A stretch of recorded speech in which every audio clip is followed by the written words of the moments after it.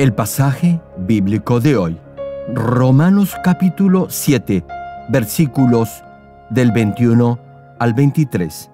Así que, queriendo yo hacer el bien, hallo esta ley, que el mal está en mí, porque según el hombre interior me deleito en la ley de Dios, pero veo otra ley en mis miembros que se revela contra la ley de mi mente y que me lleva cautivo a la ley del pecado que está en mis miembros.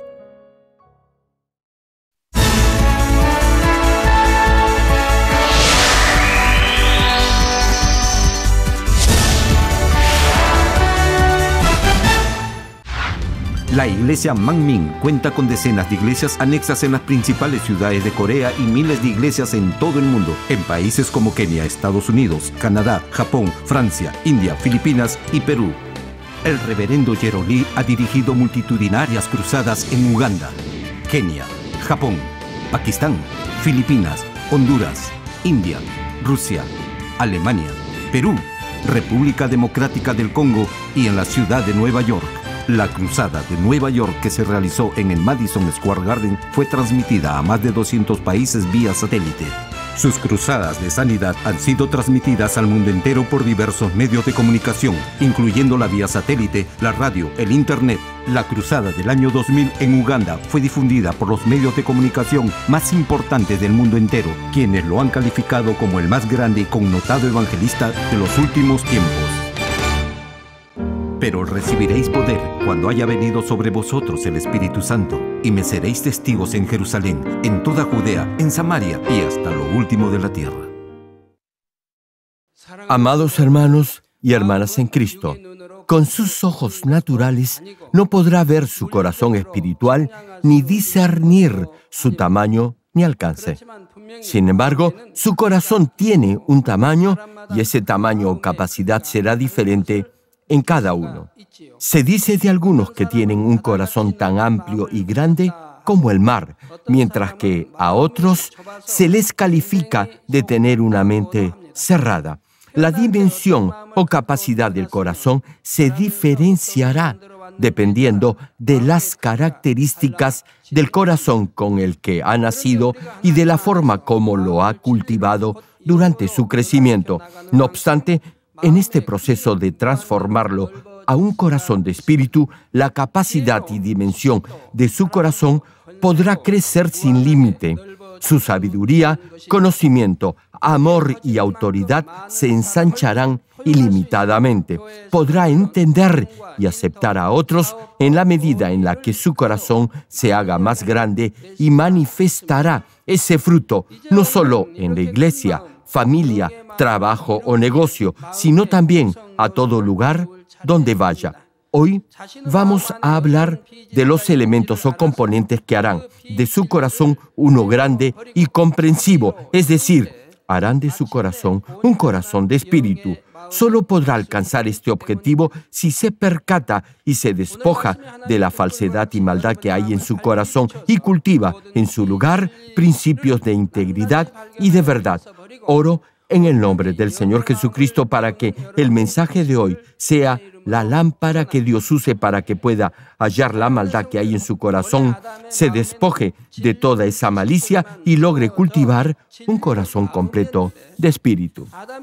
Hermanos en Cristo, al principio el corazón de Adán era un corazón lleno de la verdad, es decir, únicamente había conceptos y nociones veraces y positivas. Sin embargo, luego de pecar, su espíritu murió, esto es, dejó de estar activo y el conocimiento original que Dios había puesto en el corazón de Adán, vale decir, los principios y virtudes de integridad y de bondad, comenzaron a desaparecer y en su lugar entró la maldad, la mentira, el egoísmo y el egocentrismo. No obstante, este corazón puro no se llegó a corromper en su totalidad. En cierto grado quedó algo de bondad. De ahí que hay quienes mantuvieron esos principios de integridad en sus vidas y, en cierta medida, buscaron vivir una vida correcta. A ver, hermano, ¿qué siente en su corazón? ¿Hay más bondad que maldad o más egoísmo que generosidad? Ambas tendencias están en su interior. Dentro de usted hay un corazón de espíritu y uno carnal. Adán al principio era un ser viviente, es decir, un ser con espíritu vivo. Sin embargo, desde que su espíritu dejó de estar activo, se volvió un ser carnal y las características propias de la tierra de la que fue formado, que cambia de acuerdo a la clase de componentes que se le agreguen, empezaron a afectar su cuerpo y todo su ser. Igualmente, las características y la disposición del corazón variarán dependiendo de la clase de elementos que le añada. Al principio, el corazón de Adán estaba lleno de conocimiento de espíritu y su corazón era un campo productivo y suave, tal como lo es un terreno de cultivo fértil, fructuoso y fecundo. No obstante, gradualmente elementos tóxicos y dañinos se fueron añadiendo a ese campo espiritual que es el corazón y poco a poco se fue corrompiendo cada vez más. Hermano, su naturaleza cambiará en la medida en la que ingrese lo malo a su corazón al ver, oír y sentir cosas durante su vida. Por ejemplo, el carácter taimado, astuto, tosco, duro, abusivo, el egoísmo, la deshonestidad, el orgullo, etc. Todo eso entró en el corazón del ser humano y lo corrompió. Hermanos, la naturaleza humana que se formó de esa manera cuando la maldad contaminó el corazón del ser humano se transmitió a todos los descendientes de Adán a través de la energía de vida. Ya les he mencionado qué es esta energía de vida. Viene a ser la esencia o savia para el cuerpo del hombre. Incluso en el mundo secular se habla de la energía de vida, se estudia acerca de este tema, pero en realidad no se llega a comprender en su total dimensión. Esta energía de vida, repito, es la substancia que da fuerza al cuerpo del ser humano. Dios hizo que la semilla de vida que en un inicio se le dio a Adán se transmitiera a través del óvulo y del espermatozoide. Y en esas células reproductoras sexuales se encuentra la energía de vida. En una sola eyaculación, el hombre produce cientos de millones de espermatozoides que no son visibles al ojo natural debido a su tamaño minúsculo deberá usar un microscopio para verlos.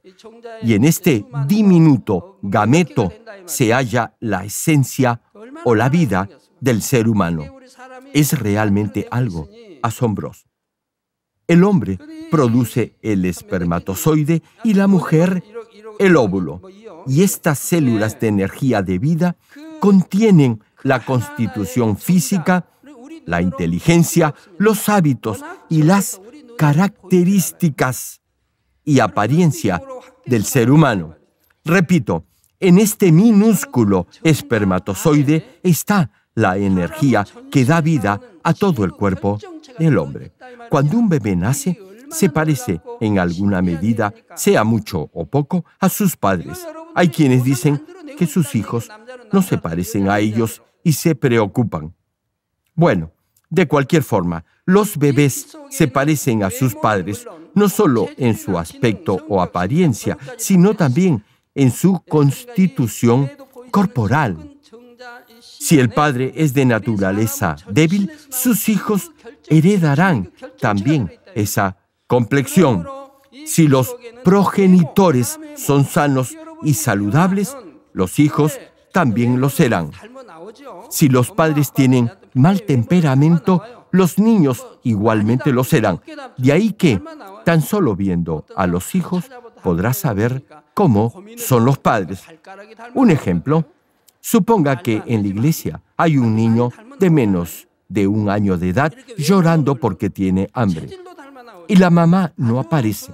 Y el bebé comienza a llorar cada vez más fuerte porque no lo están alimentando. Ahora bien, si usted, hermana, trata de darle de lactar, el bebé no lo aceptará, la rechazará. Y eso será porque estará amargo. Esa será su forma de protestar porque no lo ha atendido a tiempo. No aceptará la leche de inmediato. Incluso si la misma madre trata de calmarlo, no lo logrará hacer. Solo después de un rato de haberlo consolado y de haber sollozado, el bebé aceptará el pecho de la madre. Por ese simple hecho sabrá que el padre tiene mal carácter. De esta manera, los hijos heredan el carácter y los hábitos de los padres. Otro ejemplo, suponga que un padre tiene un defecto de malformación en los pies y fallece muy joven siendo su hijo a un niño. Ahora bien, a pesar que el hijo nunca haya visto a su padre, caminará como él. Le dirán que se parece mucho a su difunto padre. Así se asemejan los hijos a sus padres. Como les decía, las características originales del corazón, es decir, la naturaleza de los padres, es también transmitida a sus descendientes a través de lo que denominamos la energía de vida o ADN. De ahí que, si los progenitores tienen un buen campo espiritual, esto es, tienen un buen corazón, lo más probable es que sus hijos hereden esas buenas características. Ahora bien, si los padres tienen un corazón duro, como el terreno al lado del camino, lo más factible es que sus hijos sean obstinados y tercos de carácter. No obstante, la naturaleza del ser humano no se completa al momento del nacimiento. Claro, lo que se hereda influye y gravita en el nuevo ser. Sin embargo, esa naturaleza puede cambiar de acuerdo al medio o entorno en el que se forma y en función de lo que ingresa y acepta en su mente. Esto es fácil de ver. Por ejemplo, si uno se desarrolla en un entorno violento y de maldad y ve, oye y siente sensaciones negativas, su naturaleza se contaminará y degradará en esa misma medida. Es decir, como el ser humano nace con pecado y se forma o crece en un mundo como el actual, donde la maldad impera en todo lugar, lo más probable es que no sepa distinguir lo que es el pecado. De ahí que, en la actualidad, si no escucha el verdadero Evangelio de santidad del Señor Jesucristo, será difícil ser salvo. Como, repito, se nace y se vive en un mundo plagado de pecado y se aprende rápidamente a pecar, en realidad la mayoría desconoce lo que es el pecado. Por lo que, si no escucha este Evangelio de santidad, le será difícil, repito, discernir lo que es el pecado. Por eso, en estos tiempos finales, no será fácil ser salvo. Será tal como lo fue en la época de Sodoma y Gomorra, cuando ambas ciudades fueron destruidas porque no había ni siquiera diez justos en ellas. Por favor, hermano, recuerde que estamos viviendo en estos tiempos finales donde será difícil hallar a alguien justo. Por eso Dios enfatiza la santidad y nos exhorta a que no miremos ni deseemos las cosas del mundo.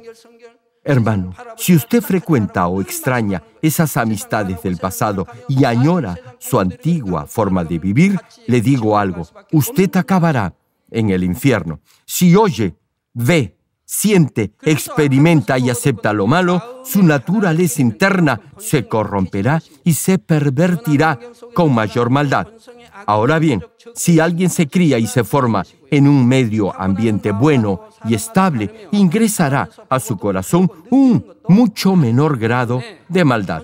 Hermano, el campo espiritual del corazón que cada uno ha heredado es diferente y en su proceso de crecimiento lo que ve, oye, aprende, siente y experimenta igualmente será distinto. Por eso todos tenemos una diferente naturaleza. De ahí que cada uno forma una diferente naturaleza al agregar elementos a la naturaleza original que ha heredado al nacer. Hermanos en Cristo, la gente común y corriente diferencia lo bueno de lo malo de acuerdo a la norma que llamamos conciencia. Usted tiende a juzgar lo que es correcto o incorrecto por esa norma o patrón. Igual sucede con las personas. Si alguien hace algo malo, se sentirá avergonzado o tendrá cierto remordimiento de conciencia. O si ven a alguien hacer algo malo, algunos dirán que no tiene conciencia. Incluso esa clase de conciencia proviene de su naturaleza. Desde que nace, cada uno forma en su naturaleza esa norma o patrón para distinguir entre lo bueno y lo malo, y a esto se le llama, repito, conciencia. Sin embargo, el problema radica en que esa clase de conciencia no puede ser la norma absoluta para determinar lo bueno de lo malo. Como la naturaleza de cada uno es diferente, igualmente cada persona tendrá una diferente norma para distinguir lo bueno de lo malo. Por favor, hermano, le pido que ahora, mientras esté escuchando este mensaje, se examine. Cada uno tiene una diferente conciencia, al igual que tiene una única huella digital o un único rostro. Por eso, la norma o estándar para juzgar lo bueno de lo malo difiere en cada persona. Hay algunos que, a pesar de haber violado una ley, afirman que lo han hecho de acuerdo a su conciencia. Un ejemplo, cuando se ha cometido un crimen, algunos se indignarán de tal forma que podrían matar al asesino. En ese caso, si ajustician al homicida, no sentirán culpa alguna a pesar de haber cometido un crimen porque lo habrán hecho de acuerdo a su conciencia. Les doy otro ejemplo. Si le pregunta a alguien si robar es bueno o malo, la mayoría le responderá que es malo. Sin embargo, si hace la misma pregunta en un contexto o circunstancia en particular, podrá apreciar las diferentes respuestas de acuerdo a la conciencia de cada uno. Algunos tendrán cierto remordimiento si toman algo que no les pertenece a pesar que sea algo pequeño o sin valor monetario alguno. Digamos que alguien ha robado una aguja de coser. Tal vez no sienta culpa alguna por ello. Tal vez lo hubiera tenido de haber robado una billetera o algo de mayor valor. No obstante, como fue solo una aguja, no sentirá remordimiento alguno. Sin embargo, otra persona no se sentirá del todo bien por haberlo hecho. Sentirá que ha robado algo. Hermano, si tiene esta clase de conciencia, no tomará ni siquiera una aguja que no sea suya. Sin importar el valor del objeto, no lo tomará si no es suyo. De la misma manera, todos tienen una diferente medida o norma para juzgar. Reitero, a pesar que se trate de un objeto sin valor monetario alguno, si toma algo que no le pertenece, no se sentirá bien, es decir, tendrá un cargo de conciencia. No obstante, hay muchos que no piensan así. Consideran normal usar algo que no es suyo o prestar algo que no les pertenece sin permiso del dueño o no devolver el dinero que han pedido prestado. Piensan que eso no es robar y que no están actuando con maldad. Hay algunos que cuando están en necesidad piden dinero prestado, aceptando incluso pagar un cierto monto de interés. No obstante, si el negocio no les va bien, ya no quieren pagar el interés que aceptaron pagar. Más bien, dicen que van a amortizar por partes la suma que han pedido prestada y todavía tienen la frescura de decirle a quien le facilitó el dinero que debería estar agradecido porque al menos le van a pagar la suma que le habían pedido prestado. ¿Se imaginan qué descaro?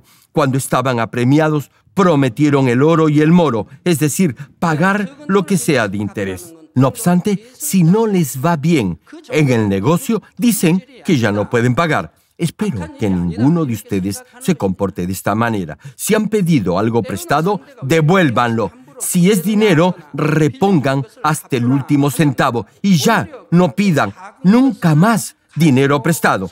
Hay quienes cuando se les exige devolver el dinero que han pedido prestado, se molestan y se hacen los ofendidos. Son unos sinvergüenzas no tienen vergüenza, incluso critican a quien les prestó ese dinero. Bueno, Como decía, dependiendo de la época y el lugar, la norma de conciencia será distinta. Un ejemplo, todos creen que es bueno respetar a los padres. Sin embargo, la norma de demostrar este respeto varía en cada uno. Hace mucho tiempo, cuando estaba en el colegio, durante mis vacaciones iba a visitar a mis padres al pueblo donde vivían. Y cuando iba, a pesar que me encontrara con mis hermanos mayores primero, no los saludaba si antes no saludaba a mis padres. Esa era la norma de educación y era porque me habían enseñado que primero debía saludar a mis padres y lo hacía con una profunda reverencia. Si no lo hacía, sentía que les había faltado el respeto y tenía un cargo de conciencia. En esa época teníamos vacaciones en verano y en invierno y durante ese tiempo iba a casa de mis padres a visitarlos. Digamos que iba durante las vacaciones en invierno. Entonces, si mis padres todavía estaban en su dormitorio, yo esperaba afuera. Apenas abrían la puerta, subía al piso y hacía una gran reverencia hasta casi llegar al suelo. Y luego me arrodillaba. Mis padres esperaban dentro de su habitación.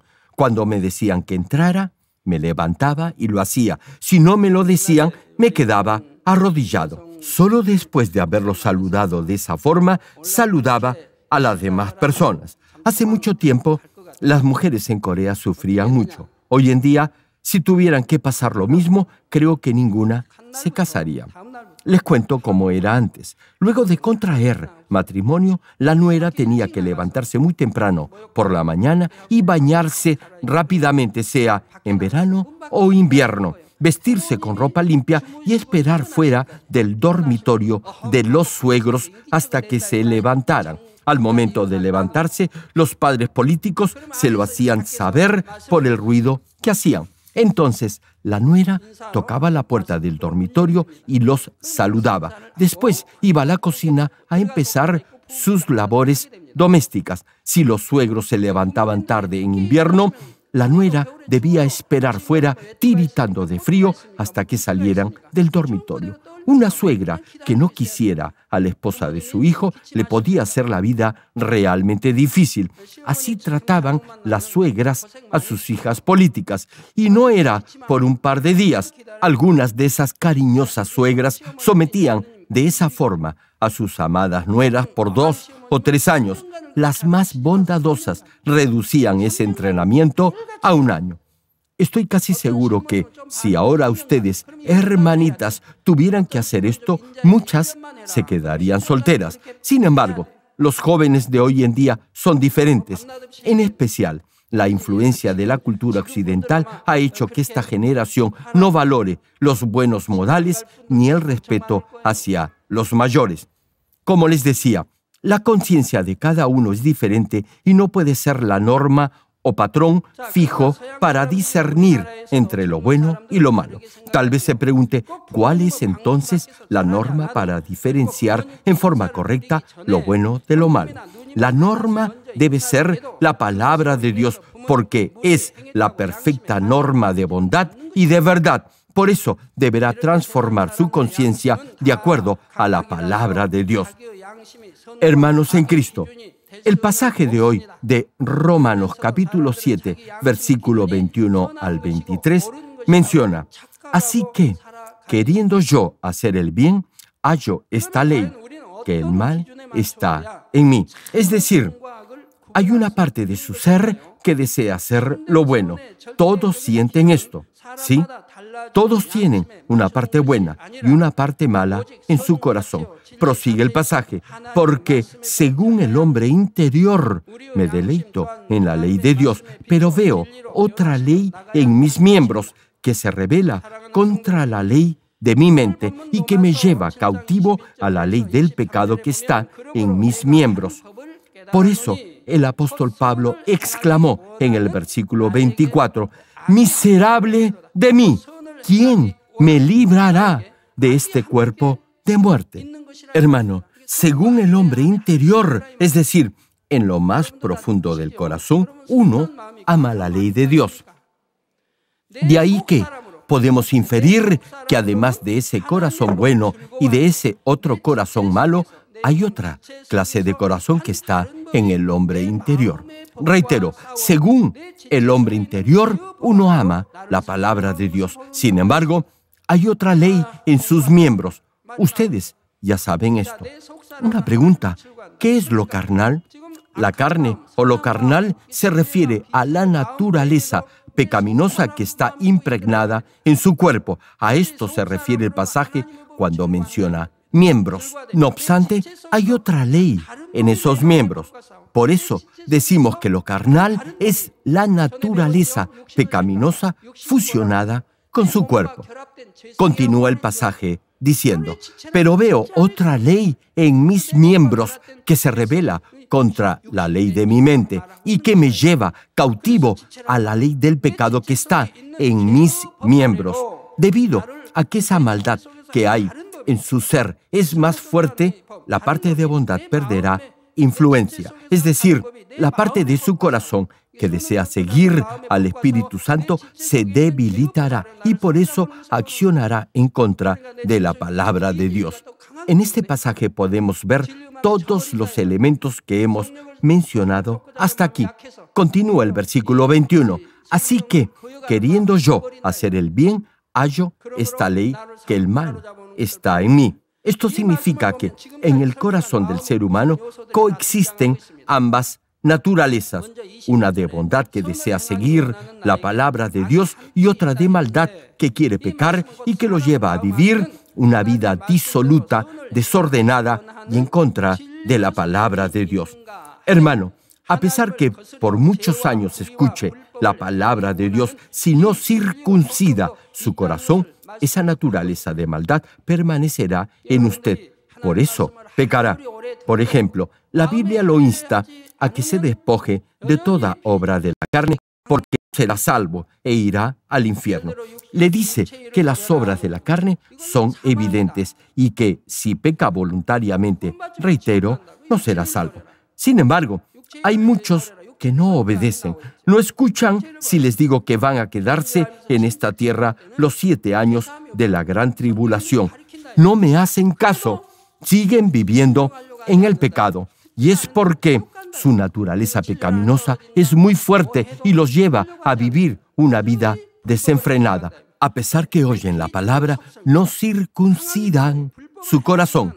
Tal vez digan que lo están intentando e incluso que están ayunando, pero la verdad es que no cortan con la lujuria ni el deseo sexual, ni con la codicia y ambición por el dinero. Por eso permanecen igual que antes, como tienen esa naturaleza pecaminosa muy enraizada en su ser, harán lo que el diablo los induce a hacer a pesar que no lo quieran hacer. De esa manera vivirán una vida desordenada, sin principios ni valores. Levantarán un muro de pecado que los separará definitivamente de Dios. Estimulados por Satanás, su mente se llenará de pensamientos carnales. Sentimientos encontrados se levantarán en su corazón y no podrán oír la voz del Espíritu Santo. Tendrán envidia, celos, odio, resentimiento, lascivia, etc. No les importará ser pastores, ministros, ancianos o hermanos que sirven en la iglesia y es porque no obedecerán la palabra de Dios, ni siquiera intentarán despojarse de los deseos mundanos. De ahí que, repito, a pesar de ser cristianos por muchos años, su corazón estará impregnado de maldad y de esa naturaleza pecaminosa. Como esa característica negativa se irá haciendo cada vez más fuerte, todo sentido de decencia, honestidad e integridad se irá perdiendo y comenzarán a practicar el pecado en forma constante y no habrá para ellos otro destino que el infierno. Como les decía, podemos dividir el corazón del ser humano en un corazón bueno y otro malo. Sin embargo, en los versículos 22 y 23 que hemos leído, se categoriza el corazón en tres partes. El primero es cuando el pasaje subraya, porque según el hombre interior me deleito en la ley de Dios. Es decir, en lo más profundo del corazón uno ama la ley de Dios. Este es el corazón bueno, verdadero, es decir, el corazón puro. Luego continúa la cita y dice, pero veo otra ley en mis miembros que se revela contra la ley de mi mente y que me lleva cautivo a la ley del pecado que está en mis miembros. Aquí, cuando el apóstol menciona la ley de mi mente, se refiere a la naturaleza o conciencia que uno mismo ha formado. Y cuando señala la ley del pecado que está en mis miembros, describe, obviamente, al corazón malo o falso, es decir, al corazón sucio y pervertido que ha sido plantado por el diablo. Este pasaje nos dice que a pesar que desee obedecer la palabra de Dios con ese corazón bueno y puro, tendrá ese otro corazón enviciado por la maldad que prevalecerá sobre su conciencia y lo seducirá a pecar y a cometer todo acto de maldad. Hermano, si prosigue ignorando la voz de su conciencia y peca repetidamente, su corazón se manchará cada vez más de pecado y su conciencia se cauterizará, es decir, se volverá insensible a la maldad. De ahí que, si continúa actuando con maldad, su conciencia se irá contaminando más y más con el paso del tiempo y esa naturaleza de maldad se transmitirá a sus hijos y nietos. Hermanos y hermanas en Cristo, a fin de cultivar un corazón de espíritu, deberá, en primer lugar, despojarse de ese corazón engañoso y también de la falsedad y mentira ocultas en su naturaleza. Despojarse del corazón engañoso le será fácil porque podrá identificar rápidamente la maldad que hay en su corazón. Se percatará fácilmente de esa maldad si acciona o reacciona siguiendo la parte mala de su corazón como envidia, celos, ira, juzgar, condenar, adulterar, etc. Así podrá desecharla de su corazón. Sin embargo, la maldad que hay en su naturaleza está oculta o muy enraizada en lo profundo de su ser y no le será fácil hallarla. Como actúa de acuerdo a su conciencia, podrá considerar que está haciendo lo correcto y lo bueno. Un ejemplo, supongamos que a un vaso con agua le añade otra sustancia de una mayor densidad. Si deja reposar el agua, ese componente de más peso descenderá y se posará en el fondo del vaso y el agua en la parte superior parecerá que está limpia. No obstante, eso no quiere decir que, por no ver la impureza que hay en el fondo del vaso, el agua esté realmente limpia. De la misma forma, no podrá decir que tiene un corazón limpio y espiritual únicamente porque la maldad que hay en su naturaleza no se manifiesta exteriormente, sino que permanece oculta. Tal vez se pregunte ¿Cómo puede hallar esa maldad que hay en su naturaleza? Tal cual la impureza del agua se notará si remueve el vaso, de esa misma forma podrá hallar la maldad en su propia naturaleza a través de las pruebas que Dios permita en su vida. Hay quienes piensan que ya se han despojado de la ira o el enojo. No obstante, si enfrentan una situación pico o extrema, esa cólera o violencia saldrá a relucir otra vez. Otros piensan que ya no tienen odio, celos ni envidia. Sin embargo, cuando ven a otro hermano siendo bendecido mientras ellos están enfrentando alguna prueba o escasez, advertirán que aún tienen celos porque no se alegrarán de corazón con la felicidad ajena. Algunos otros creen ser como el siervo inútil, es decir, piensan que son humildes, no obstante, en cuanto logran destacar en algo y son elogiados por los demás, sale a relucir su orgullo y soberbia. Otros creen que aman al Señor y que confían completamente en Él. Sin embargo, en cuanto tienen que encarar algún sufrimiento por ser cristianos, verán que su confianza y convicción no eran tan sólidas. Por eso, Dios permite pruebas a los que tienen un buen nivel de fe y un corazón bueno a fin que puedan hallar esas imperfecciones en su naturaleza. Por ejemplo, antes de las pruebas, Job no podía hallar maldad alguna en su interior. Tenía temor de Dios y exteriormente no cometía maldad alguna. Incluso ayudaba a los huérfanos y a las viudas y hacía buenas obras. Sin embargo, ¿qué pasó cuando a causa de las pruebas le sobrevino angustia y desesperación?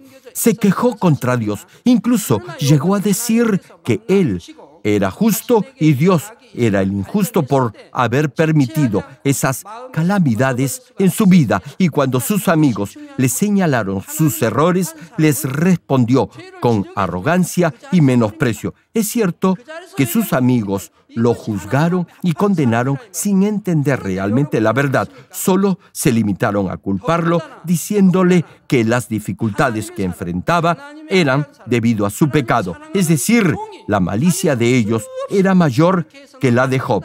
El hecho era que la maldad de Job estaba oculta en lo más profundo de su corazón. Luego, ya cuando Dios le habló, Job pudo hallar esa maldad y despojarse de ella. Su corazón se limpió y se santificó completamente, no quedando ni una sola huella de pecado.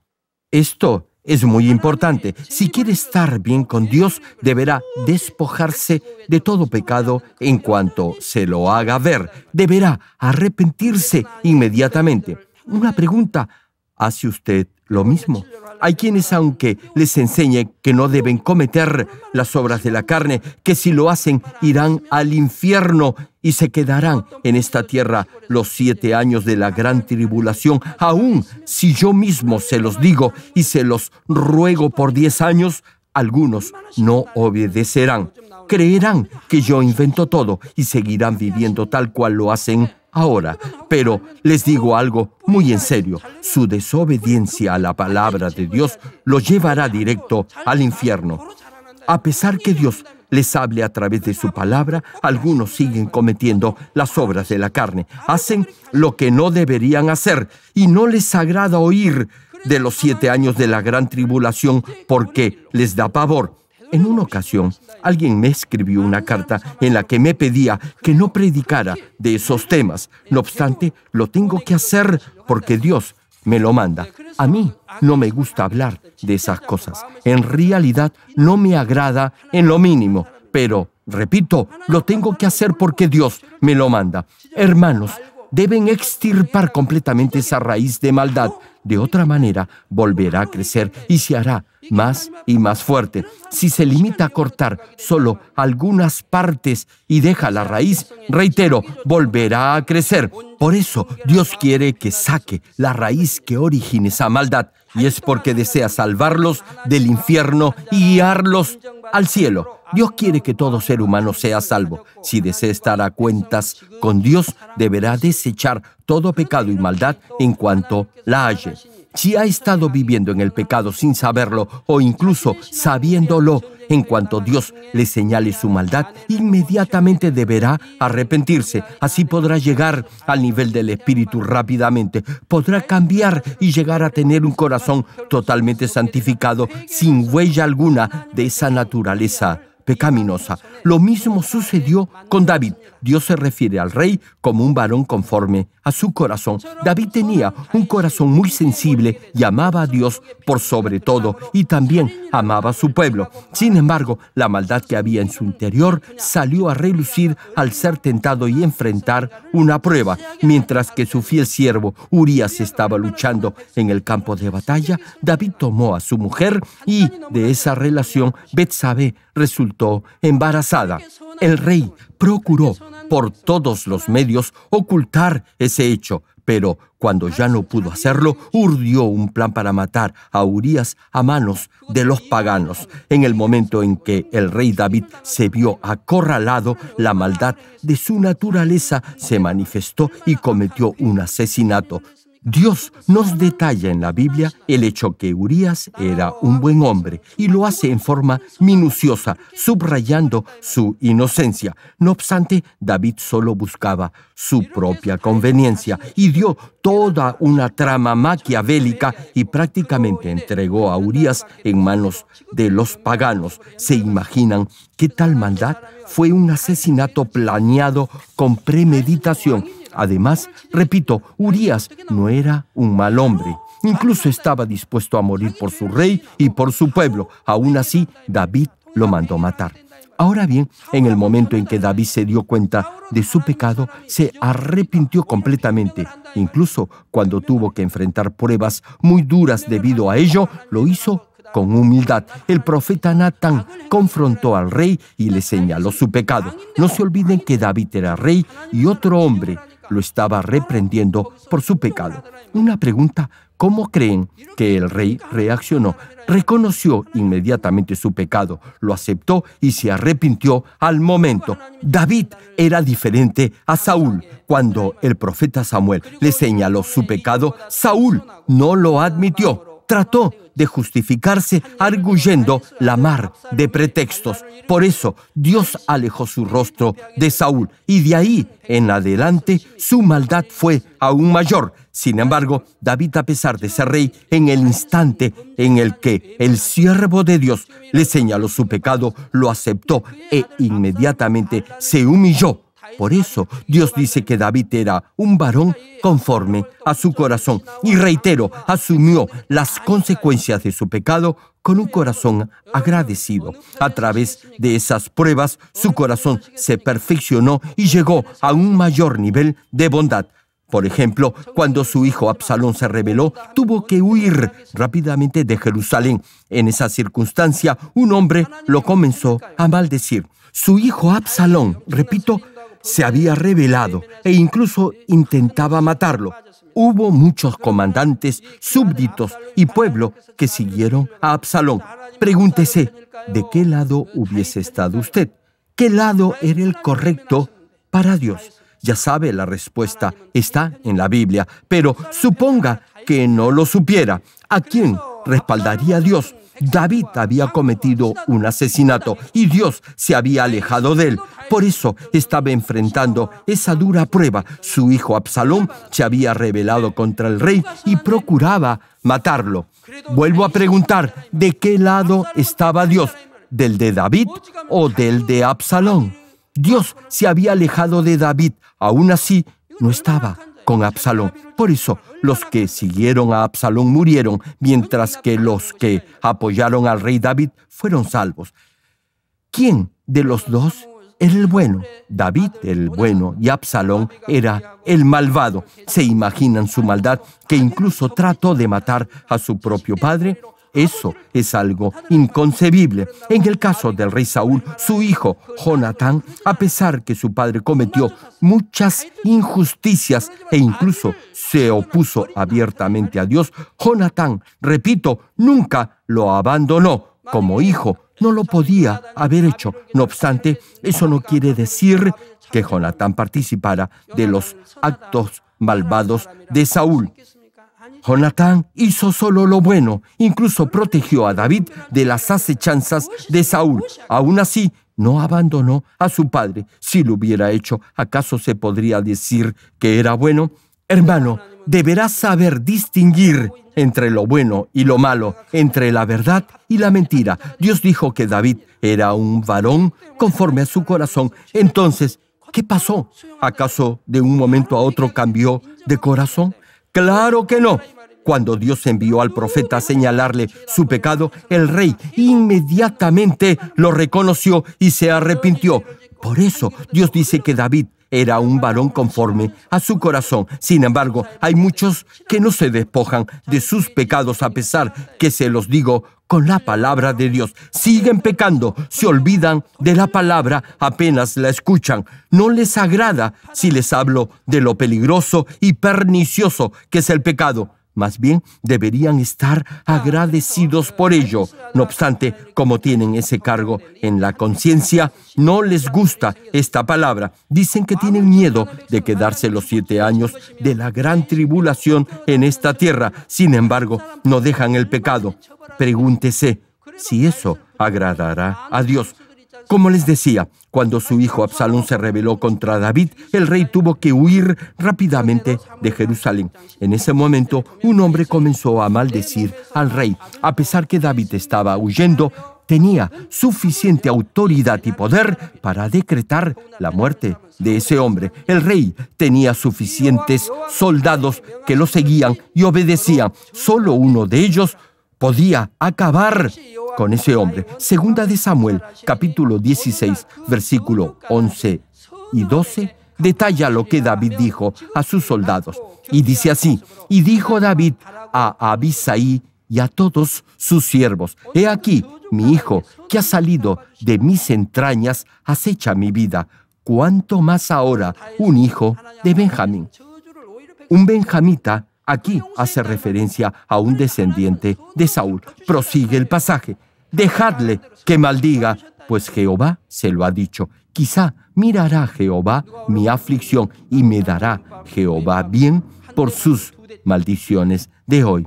Hermano, David únicamente confiaba en Dios. Por eso, con toda seguridad pudo decir, quizá mirará Jehová mi aflicción y me dará Jehová bien por sus maldiciones de hoy. Así se había cultivado el corazón de David que aun si alguien lo maldecía, lo podía perdonar. De ahí que Dios le retribuyó con bondad esa bondad que mostró tal cual el rey lo pidió. Hermano, si alguien lo golpea en la mejilla derecha, no deberá devolverle el golpe. Jamás deberá pagar mal por mal.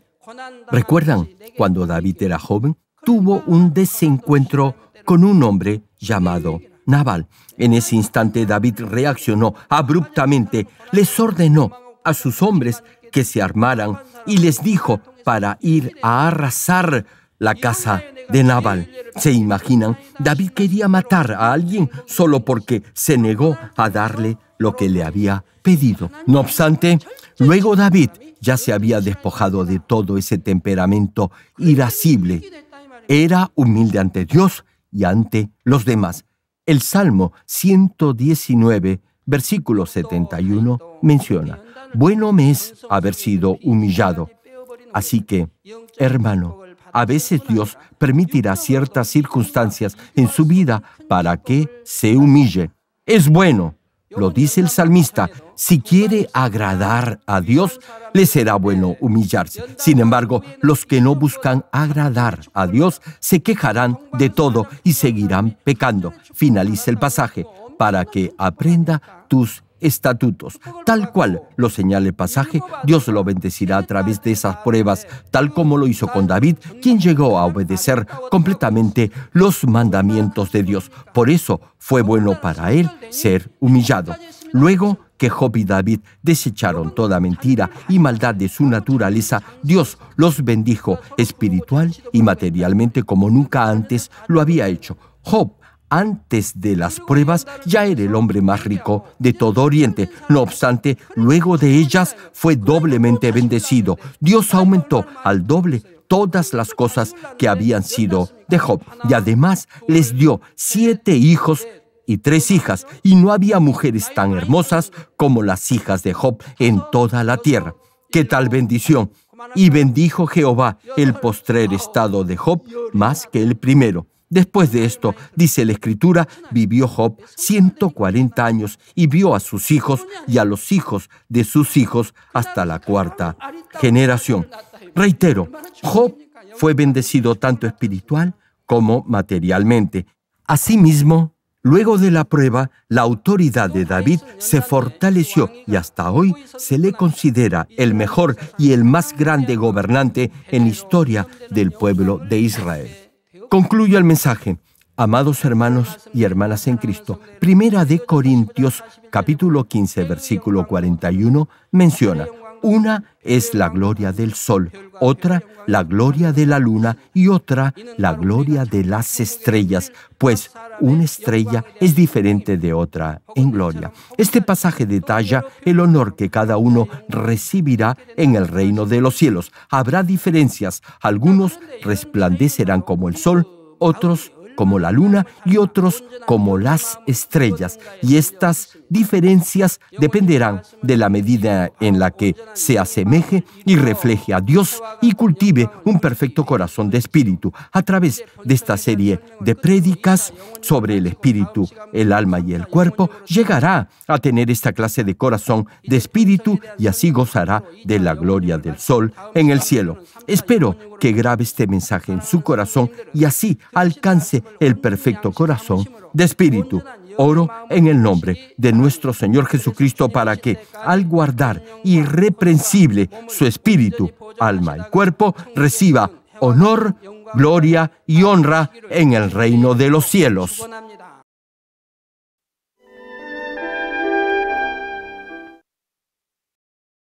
Ahora oraré por todos aquellos que están enfermos. Coloquen su mano en la parte enferma o adolorida de su cuerpo y reciban esta oración por fe. Si usted no está enfermo, pero desea que Dios le conceda los deseos de su corazón, coloque su mano sobre su pecho y reciba esta oración con fe el obrar del Todopoderoso Dios que trasciende el tiempo y el espacio, obrará de acuerdo a su fe. No importa dónde se encuentre, si recibe esta oración con fe, con toda seguridad experimentará el asombroso poder de Dios.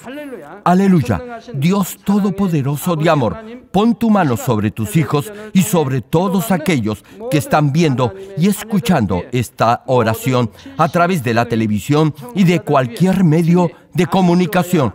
Extiende tu mano y manifiesta tu poder y tu obrar que trasciende el tiempo y el espacio en todo aquel que está recibiendo esta oración por fe en cualquier parte del mundo. Da a cada uno de ellos la fe necesaria para que puedan creer y se despojen de todo pensamiento negativo y toda duda.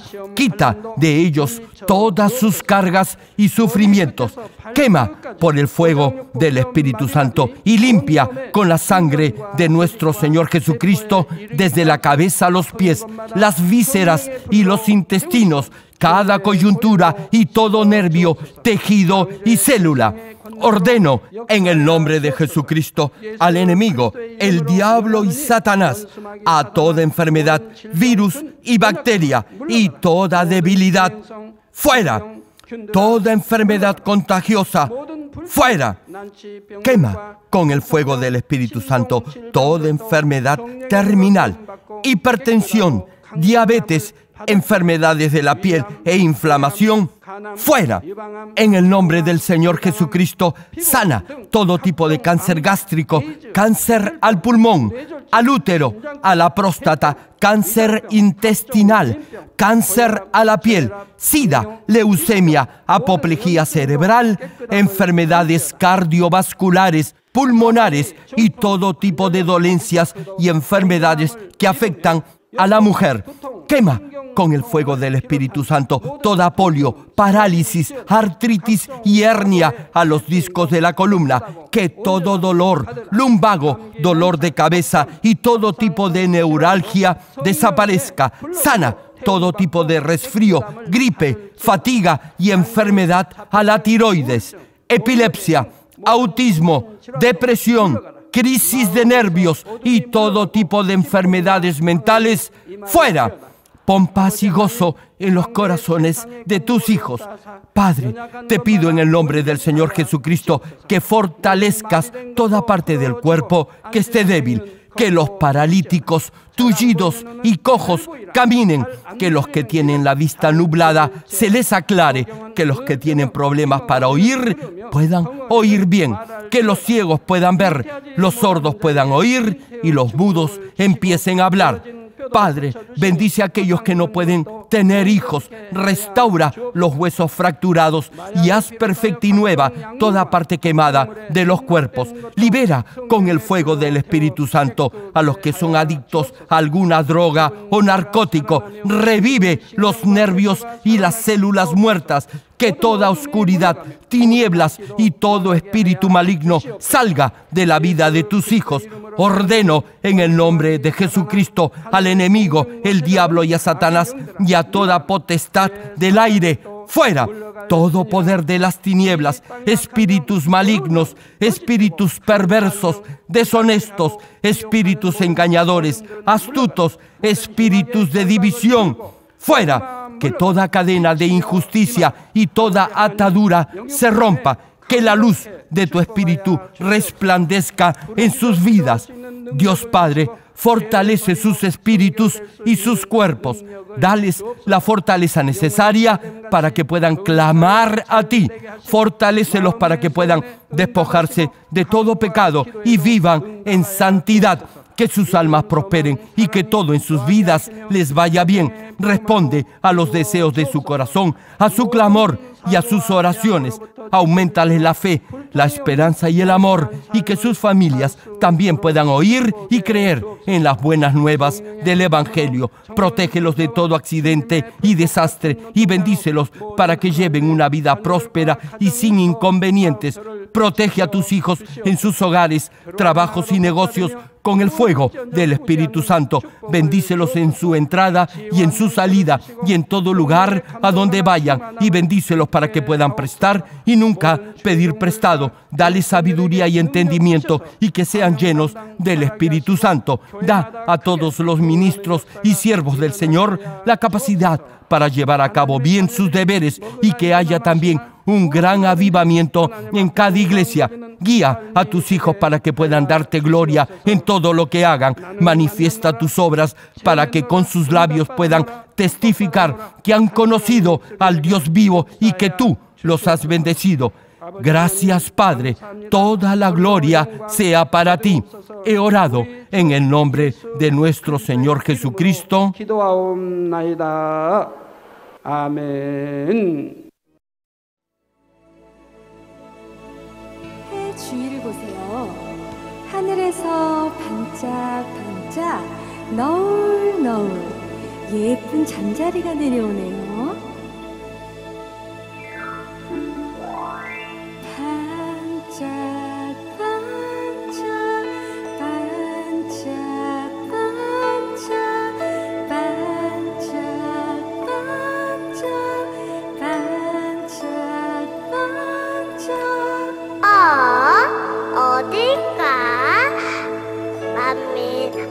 수련회 장소에 만미 성도님들 찾아가야지. 야호, 신난